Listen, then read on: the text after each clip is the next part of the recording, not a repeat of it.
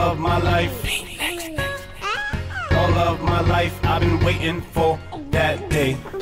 That day in May. That day in all of my life. All of my life I've been waiting for that day. That day in May. That day in and labor 7:55 p.m. Can't wait to see him. My firstborn son, grown from my semen. There has to be a reason. Babies come out screaming. I told my girl to calm down the stress. The less more bleeding. Now we move it to the evening, and it's almost time to push. I'm a coward. How many other fathers out there scared to look?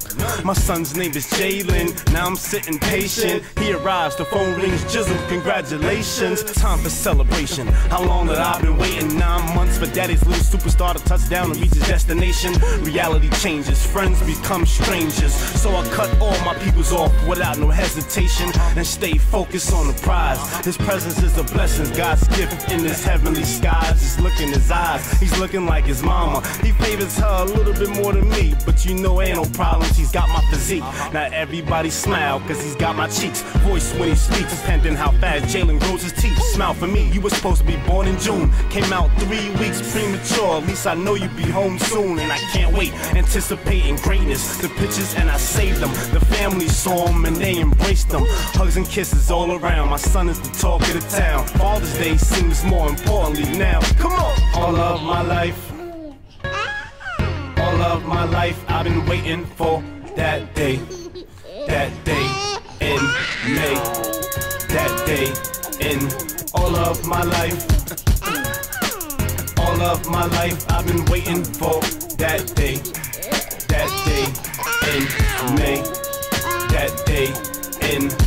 one centimeter, two centimeters. The shit is taking too long. Doc said it's part of the pregnancy labor procedure. You had to see her ex. She's far from an underachiever. 27 hours of labor, that's what I call a diva. She started having contractions. I had a different reaction to all the things that started to happen. Then things was getting too live, too much for me to describe. She said she ain't having no more. She's getting her tubes tied. I said, Ma, you kidding me? She said my son's kicks is more harder than my punchline delivery. This is victory. She said, Nah, baby, this is it for me. All them hours in labor, you think I'm stronger than Mr. T? Consistently, how many family members gonna come visit me? And instantly, she said, just one and done. I guess that ruins all of my good luck about having another son. But somewhere down the line, I'm sure I can get another one. Cause using no brothers equals a little sister, a little brother.